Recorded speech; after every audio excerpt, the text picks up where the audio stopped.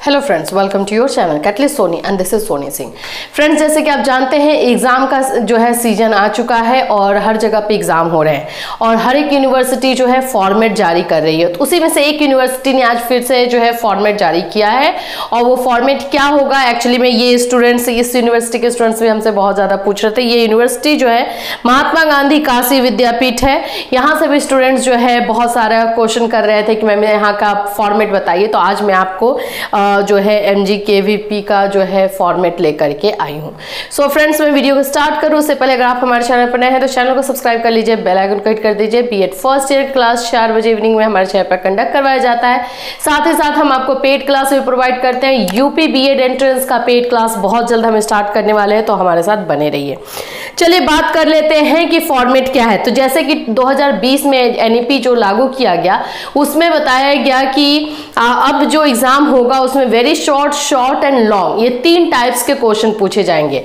तो महात्मा गांधी काशी विद्यापीठ वाराणसी, जो यूनिवर्सिटी है, उन्होंने भी यही बात बोली है कि हम भी जो है एनईपी 2022 को 20 को ही फॉलो करेंगे और इसमें इन्होंने जो है अपना फॉर्मेट जारी किया। इन्होंने बताया कि लघु जो है, अति लघु उत्तरीय लघु उत्तरीय और दीर्घ उत्तरीय प्रश्न पत्र होंगे बीएड में, जो कि एग्ज़ाम होने वाला है।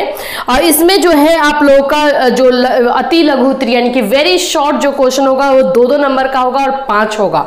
दो दो नंबर का क्वेश्चन और पाँच होगा। फॉर्मेट के अकॉर्डिंग अपनी तैयारी कीजिएगा, ठीक है? और दूसरा जो है, जो लघु उत्तरीय होगा, वो पाँच नंबर का रहेगा और पाँच क्वेश्चन करने होंगे। पाँच नंबर का, पाँच क्वेश्चन यानी कि ट्वेंटी फाइव मार्क्स और तीसरा जो दीर्घ उत्तरीय रहेगा, वो दो क्वेश्चन करने होंगे और वो दस दस नंबर का रहेगा टोटल बीस नंबर का रहेगा।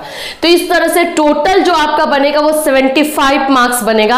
अब एटी मार्क्स का नहीं होने वाला है बीएड का वाराणसी यूनिवर्सिटी में। अब जो है सेवेंटी फाइव मार्क्स का होगा और very short short and long ये तीनों टाइप के क्वेश्चन पूछे जाएँगे। कितने मार्क्स के रहेंगे आपको मैंने बता दिया।